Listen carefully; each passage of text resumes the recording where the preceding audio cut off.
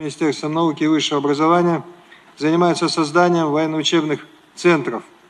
В прошлом году приступили к работе 16 таких подразделений, что позволило увеличить สวัสดีครับพี่น้อง ถ้าปล่อยคลิปภาษารัสเซียยาวๆ คนก็ฟังไม่ค่อยออกพี่น้องว่าเขาพูดว่าอะไรรัฐมนตรีว่าการกระทรวงกลาโหมของรัสเซียมาขายไก่ แล้วก็สสของรัสเซียก็มาขายไก่ ช่วยกันขายไก่พี่น้อง ปล่อยไก่หรือขายไก่ ปล่อยไก่ เรื่องราวก็ที่เขาออกมาโต้แย้งว่านายพลรัสเซียเขายังไม่ตายนะพี่น้องตามที่เขาพูดอะนะนายพลโซโครอฟวิกโตนิโคยาลีวิทเนี่ยคนที่นั่งอยู่เนี่ยเขาบอกว่ายังไม่ตายเขาก็เลยเผยแพร่ภาพ เอามาโต้กับยูเครนยูเครนบอกว่าตายรัสเซียบอกว่ารัฐมนตรีว่าการกระทรวงกระทรวงกลาโหมของรัสเซียบอกว่ายังไม่ตาย สรุปว่าทหารรัสเซียต้องตายกี่รอบ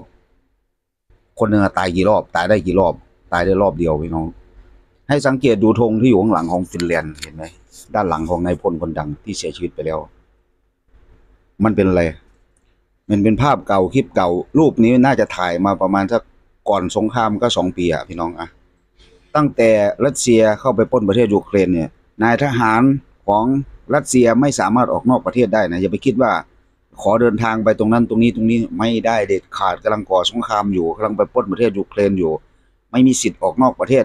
ไม่ว่าด้วยเหตุผลกรณีใด ๆ ทั้งสิ้นนอกจากจะแอบหนีแอบออกเอาเองคนที่จะมีสิทธิ์ออกนอกประเทศรัสเซียในช่วงนี้ก็มีอยู่สองคนนะพี่น้องรัฐตีว่าการกระทรวงกลาโหม คือเจอกูไซเกแล้วก็รัฐตีว่าการต่างประเทศลานล็อบ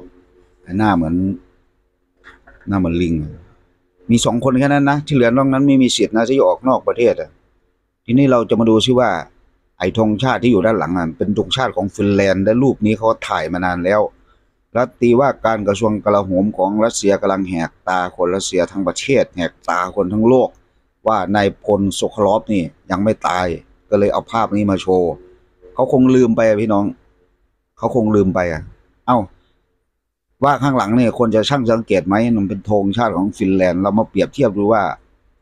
ระหว่างที่ก่อสงครามจากวันนั้นจนมาเอ้าไม่ต้องมันไกลเกินไปก่อสงครามเอาเริ่มจาก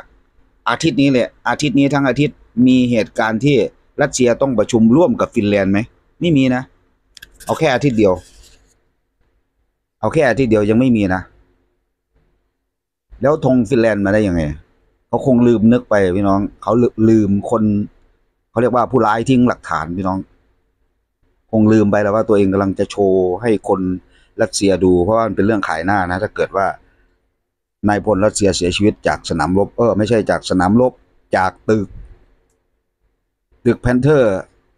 เอดีอะพี่น้อง ตึกวิจัยขีปนาวุธป้องกันภัยทางอากาศนั่นแหละถ้าไปเสียชีวิตตรงนั้นมันขายหน้านะ ตึกนั้นมันตึกวิจัยอาวุธสงครามที่ตึกวิจัยอาวุธขีปนาวุธป้องกันภัยทางอากาศ ถ้าไปเสียชีวิตตรงนั้นนะมันโคตรขายหน้าเลยนะโคตรขายหน้าเลยด้วยเหตุที่ว่า นายพลคนดังนี่แหละ โซโคลอฟนี่แหละ โซโคลอฟเนี่ย เสียชีวิต รัสเซียก็เลยออกมาแก้ประกาศ ให้โลกรู้ว่า ยังไม่ตายมีชีวิตอยู่ก็เลยเอารูปเหล่านี้มาปรากฏ โชว์ให้สายตาสาธารณชนได้รับทราบว่ายังไม่ตายนะเว้ยอย่ามาหลอกอย่ามาออกข่าวมั่วนะเว้ยอะไรประมาณนี้พี่น้อง แล้วยูเครนเขาว่ายังไงยูเครนเขาก็ว่าเสียชีวิตนะพี่น้องอะไปดูสสอันเดลโกโลเลสสสรัสเซียพี่น้อง เกิดอะไรขึ้นนี่ก็มาชมาขายไก่หรือมาปล่อยไก่ก็ไม่รู้นะพี่น้องเขาออกประกาศว่าประเทศรัสเซียกำลังเจริญรุ่งเรืองเศรษฐกิจกำลังแข็งแกร่งก็เลยบอกให้ประชาชนพลเรือนทั่วรัสเซียน่ะ มากรอกใบสมัครคนว่างงาน เดี๋ยวเขาจะหางานให้ เพราะว่าประเทศเราตั้งแต่ไปปล้นประเทศยูเครนเนี่ย เศรษฐกิจบ้านเรามันแข็งแกร่งแรงงานขาดแคลน ขอให้พี่น้องประชาชนคนรัสเซีย ขอให้พี่น้องประชาชนในสหพันธรัฐเซียทุกรัฐมาลงทะเบียนซะ เดี๋ยวรัฐบาลจะหางานให้ นี่แหละ ประเด็นมันอยู่ที่หางานให้เนี่ยชาวบ้านทั่วรัสเซียพี่น้องพากันไปลงแห่แห่แห่ไปลงทะเบียนคนว่างงานเพราะได้ยินข่าวว่ารัฐบาลก็จะหางานให้ทำตกหลุมเลยพี่น้องใครไปลงทะเบียนเนี่ยตกหลุมเลยนะเพราะว่างานที่รัฐบาลเขาหาให้นะคือไปรบที่ประเทศยูเครนซะ คุณต้องไปช่วยองค์ คุณต้องไปช่วยงานเขาเรียกว่า องค์กรประกอบการรักษาประเทศ ดูที่พี่น้อง องค์กรประกอบการรักษาประเทศมันคืออะไรอะมันก็คือทหาร ไปทำอะไรที่ยูเครนนะไปลบ ไปลบ เขาบอกว่าเศรษฐกิจรัสเซียกำลังจะแข็งแกร่ง อย่าเป็นคนขี้เกียจต้องรู้จักช่วยองค์ประกอบ สถานประกอบการ สถานประกอบการป้องกันประเทศก็คือกระทรวงทหารนั่นแหละพี่น้อง ดูดิออกประกาศแต่ละเรื่องแต่ละเรื่อง ถ้าเป็นสมัยเก่าเราไม่มีอินเทอร์เน็ตเนาะเราก็จะเชื่อนะพี่น้องสมัยก่อนนั้น วิธีประกาศข่าวเสนอข่าว เขาจะยึดเอาโทรทัศน์วิทยุเป็นหลักนะคือถ้ารัฐบาลประกาศแบบนี้แบบนี้แบบนี้ประชาชนพลเรือนเชื่อเลยนะ เชื่อเลยนะ ถ้าเป็นสมัยเก่านะแต่แต่ว่าสมัยปัจจุบันนี้ ไม่ได้พี่น้องคนเรามีอินเทอร์เน็ตสามารถตรวจสอบข่าวสาร แม้ว่ารัสเซียเขาไม่เสนอข่าว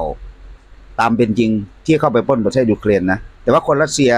คนที่ฉลาดหลักแหลมเขาก็สามารถตรวจสอบข่าวสารจากทั่วโลกได้นะ เพราะว่าบางคนบางกลุ่มบางเหล่าเขาสามารถเข้าถึงอินเทอร์เน็ต เขาสามารถตรวจสอบข่าวได้ว่ารัสเซียเข้าไปปล้นประเทศยูเครน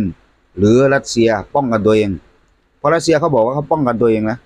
ออกข่าวทั่วเลย ตอนนี้กำลังรบกับนาซีที่ประเทศยูเครน แต่ถ้าคนฉลาดเขาจะรู้นะรัสเซียกำลังไปปล้นประเทศยูเครน นี่แหละพี่น้อง เป็นเรื่องเป็นราวที่รัฐมนตรีว่าการกระทรวงกลาโหมของรัสเซียกับสสของรัสเซียออกมาประกาศ คนที่หนึ่งบอกว่านายพลโซโคลอฟวิกโตนิโคยาเลวิชยังไม่เสียชีวิต ส่วนสสรัสเซียก็ออกมาประกาศ รับสมัครคนว่างงานให้ประชาชนพลเรือนของรัสเซียใครที่ว่างงานมาลงสมัครซะ เดี๋ยวจะหางานให้ทำนั่นคืออะไร ไปลบที่ยูเครนซะ ประเทศรัสเซียจะได้แข็งแกร่งย้อนกลับไปดูคลิปวิดีโอที่รัฐมนตรีว่าการกระทรวงกลาโหมของรัสเซียเขาแถลงข่าวเรื่องนายพลยังไม่ตายเลยพี่น้อง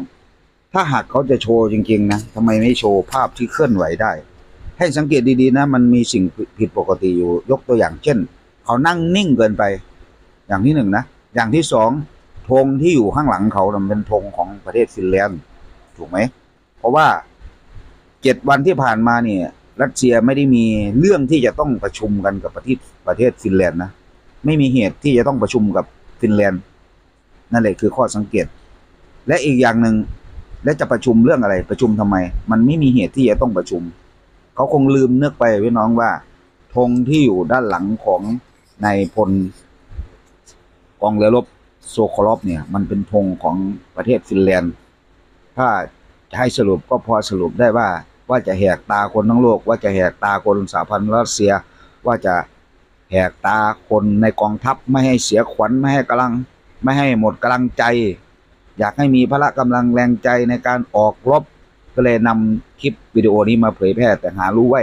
หารู้ไม่ว่าตัวเองกำลังปล่อยปล่อยไก่คลิปนี้สวัสดีครับ